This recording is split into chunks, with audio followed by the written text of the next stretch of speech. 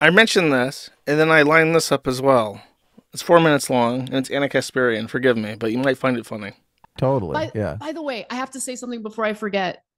You guys really did me dirty with something. Oh, And- no. no. Yeah. So Uh, you guys did a stream, I don't know, Uh-huh. months and months ago about some law tuber like Uh-huh. named Nick Rekieta. And I thought it was like such a juicy story that I started like reading about it myself and uh, watching some videos about it.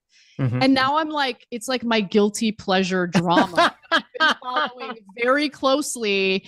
And I like know who Aaron Imholte is from Oh, Steel Toe. Morning Show. Oh, who, by the way, like did He was just he was just indicted, yeah, for revenge Yeah, for porn. Yeah. revenge. Yes. he did yeah. revenge porn on his stream and he like ended up getting indicted for it. That story is like the gift that keeps on giving. It is How did amazing. he do revenge porn on his stream? What do you talk how how do you do that? okay, so this is what happened. Um finally we talk about the issues that matter. Yeah, so of course. uh so Nick Nick Rekieta was this or is this like law tuber right. who became more and more prominent as he was covering high profile cases like the Amber Heard- Johnny Depp one. I think the Kyle Rittenhouse one as well. I didn't know about him until you guys covered that whole thing that happened Mhm. recently. But so uh, he and his wife end up swinging with Aaron Imholte and his wife. Aaron Imholte is the host of that Steel Toe morning show thing in Right. Minnesota. So they all live in Minnesota. They start swinging. What appears to have happened is they seem to have like kicked Aaron Imholte out of the polycule or whatever. Oh my god. but they were sharing messages with each other on Signal. And I guess Nick Rekieta's wife had shared some racy images of herself in that Signal chat. Aaron Mhm. Im- Imholte saved it. And then after, Oh no. uh, you he know, showed re- those on stream? he didn't show them, but he sent one of the photos to another person that was on his stream. And like they were talking about the image, and he said something along the lines of Oh, like, man. Your boy didn't do too bad, did he? Or something like that. oh, and wow. so, and by the way, this entire time he's been like really running his mouth about the Rekietas and He about has, his yeah. now ex-wife. And so I was like, man, you are playing with fire because you have done some stuff on your stream that I'm sure they can use against you. And guess what? They did. And so Yeah. he ended up getting it. I mean, it's they just they they don't know how to stop. It's amazing. Yeah, Like it's the train wreck that you can't look away from.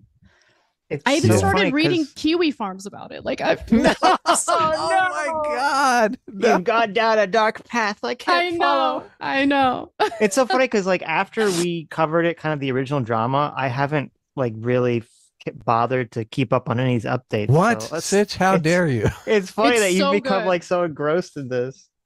Everyone needs a distraction. It's like the perfect Yes. distraction after like a long day of, you know, producing and hosting TYT. I get to come home and it's like, oh, what's what's the It's latest? the juicy drama. Yeah, I see Nate the lawyer talking about all the time. I'll have to catch up on it. But okay, that's Yep. hilarious. We'll see if Rekieta gets out of it, so Hmm. I'm not sure.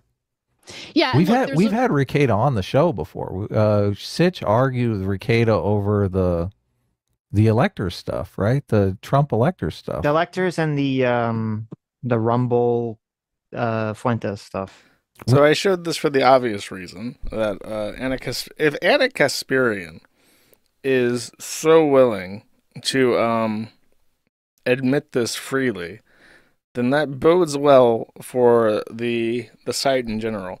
I had a theory, and I think I even said this. I don't know if anyone wants to go through the archive and find something that um find me saying this, but I, I think I even said like if we can survive drop Kiwi Farms, that would be the end of the dark time.